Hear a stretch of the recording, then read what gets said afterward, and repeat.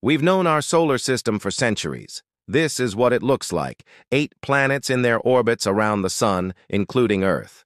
But astronomers think there may be more. Far out in the darkness beyond Neptune, they've spotted a group of small, icy objects with bizarre, elongated orbits. And what's strange is they all seem to be herded together in a line as if by an invisible shepherd. The best explanation so far, a hidden world, a ninth planet, ten times the mass of Earth, lurking in the dark. Its gravity is sculpting the orbits of these distant objects. If it exists, it's so far away and so dim that we've never seen it directly. It would take 20,000 years to orbit the sun just once. But the hunt is on. Powerful telescopes on Earth are scanning the dark skies for signs of this mysterious planet. So what do you think? If we discovered Planet 9, what name should we give it? Let us know in the comments.